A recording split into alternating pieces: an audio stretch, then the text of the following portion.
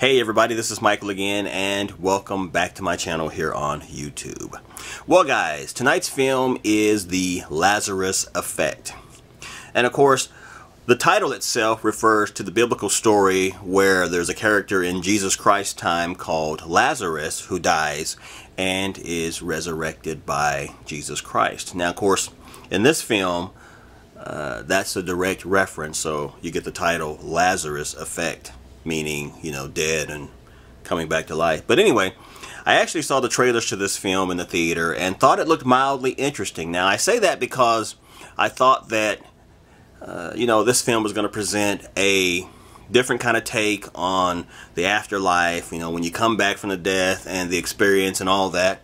It's almost kind of reminds me of my my first uh, reaction to The Purge, the first film, where I thought, you know, this is going to be a unique film with kind of a unique and different take. It had a really interesting premise, is what I'm trying to say, and I thought The Lazarus Effect uh, had a very interesting premise where perhaps the filmmakers would tackle, you know, the afterlife when someone dies and come back. Maybe it would go over the experience, what happens during death, what did you see, uh, what was on the other side? What are you bringing back from the experience of death?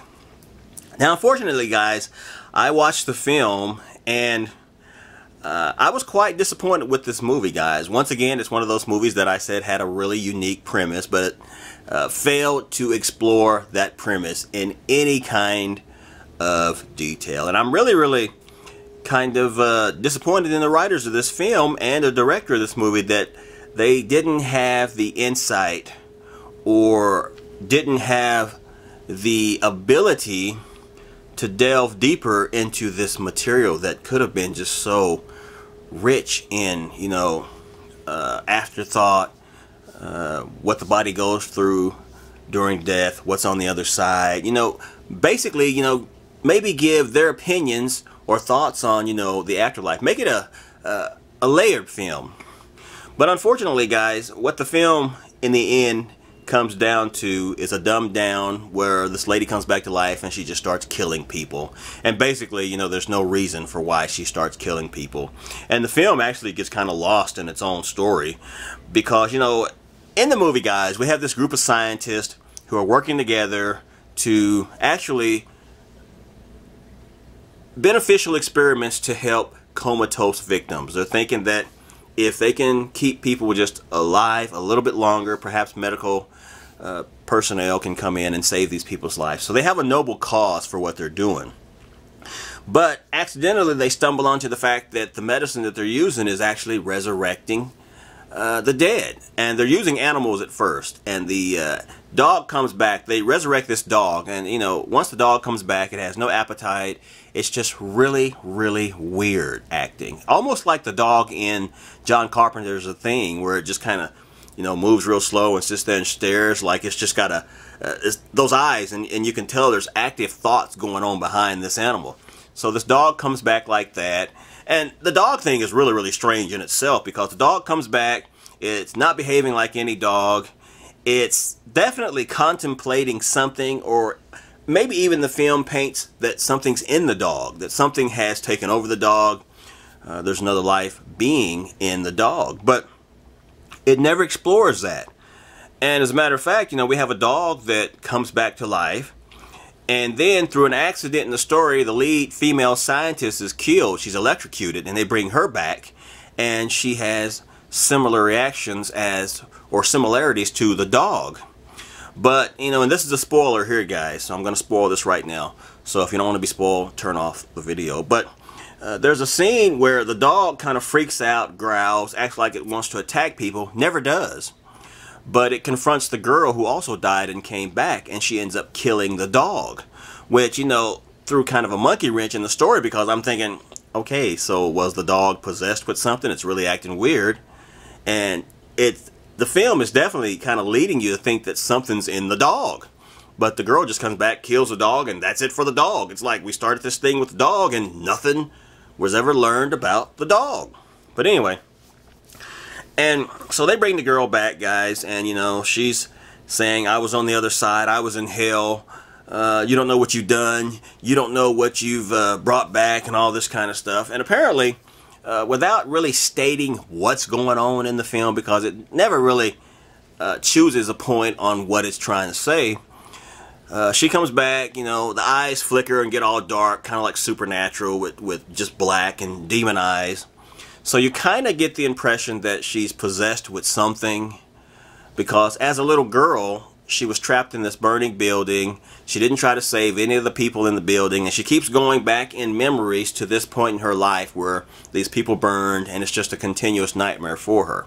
And we learned a little bit about the uh, true nature of the that whole situation in the film, and I guess I won't spoil that. But uh, uh, she keeps going back to that point, and you know, she's seriously thinking that you know after she's come back that she she was in hell. She equates that to hell. Well, I'm sorry.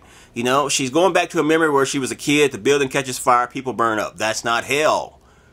But the film is kind of saying that she brought something back with her from the other side, from hell. But the only time you see hell in the film, or a representation of hell, is when this building is on fire. And that's not hell. That's a real memory that happened. So the film is just uh, totally all over the place. There's no uh, attempt to make this film rise above what it is, which is just, you know, woman dies, comes back, starts killing people, has supernatural power. And the uh, fluid that they're using to reanimate the lady, for some reason, she wants every ounce of the fluid. She ends up taking the fluid, injecting herself, filling her whole body up with this fluid. But it's the film never rises above mediocrity, guys. I mean, it's just, it could have been so much more. It could have uh, explored the metaphysical points of death and, and life and the relation between the two, what's really behind there, or what the filmmakers thought was really there. So it never really rises above the premise. It paints this really, really unique premise, but it never does anything with it.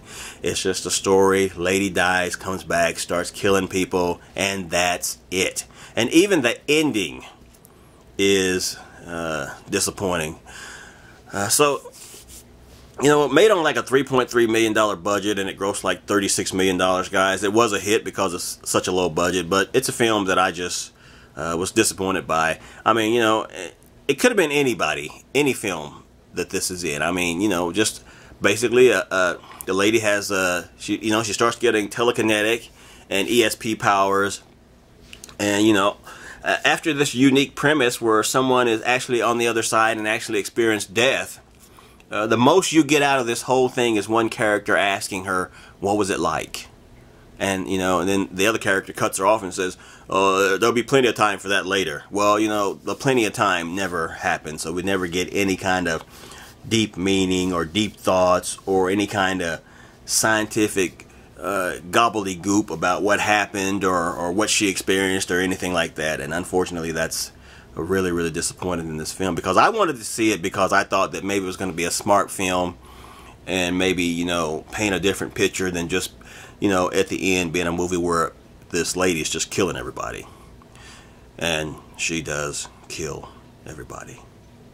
But anyway, guys, with that said, I can't recommend the Lazarus Effect. I think it was definitely a missed opportunity.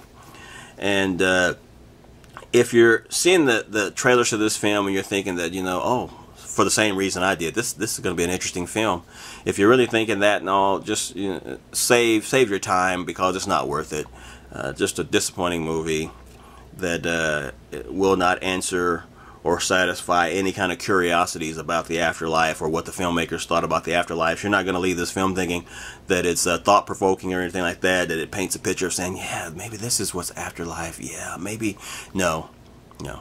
But anyway, thanks for watching, everybody, and I shall see you at the next movie review.